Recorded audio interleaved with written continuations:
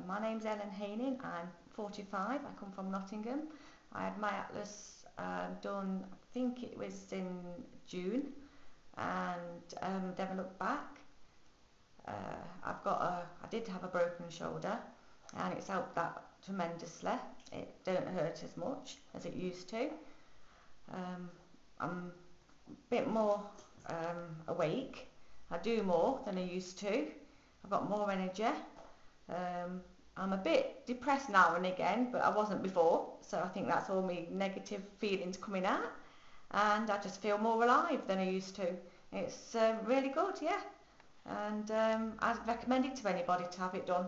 Oh, apart from my neck's feeling way better, and I can move it a lot more than I used to, and I don't get a sniff necks anymore. So yeah, it's brilliant. I'd recommend it.